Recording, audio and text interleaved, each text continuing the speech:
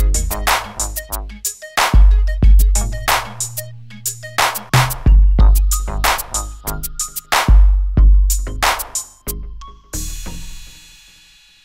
Рубцовчане вновь обнаружили свалку опасных медицинских отходов. Как сообщает Политсибру, мешки нашли в одном из складов города. Оказалось, что это те же отходы, что находили и летом.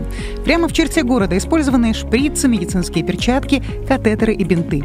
Хозяин одного из складов рассказал журналистам, что объект арендовал местный предприниматель. Что сюда завезли, люди не видели, все было упаковано в пакеты.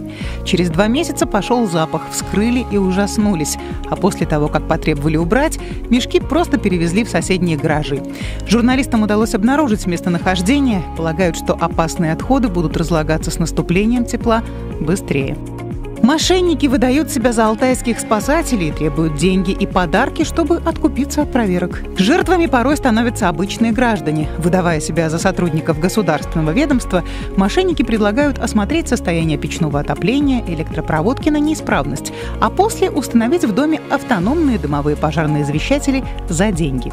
Управление МЧС по краю платных услуг не оказывает. При проведении любых проверок или профилактических мероприятий сотрудники ведомства должны быть в форме и обязательно предъявлять служебное удостоверение.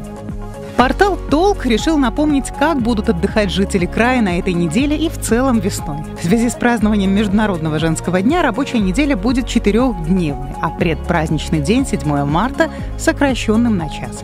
Россиян ждет три выходных дня, а в понедельник, не забываем, начнется новая рабочая неделя. Следующие продолжительные выходные наступят в мае. Благодаря переносам, в том числе с 23 февраля, отдых для россиян продлится с 1 по 5 мая и с 9 по 12 включительно.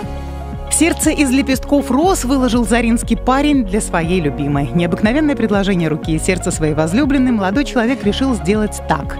Он выложил огромный символ любви на снегу из лепестков роз и украсил его свечами. 15 машин освещали романтическую композицию фарами, а девушку вывели на улицу с завязанными глазами. Когда она оказалась в центре сердца, парень открыл глаза и предложил стать его женой. Что она ответила? на страницах московского комсомольца на Алтае.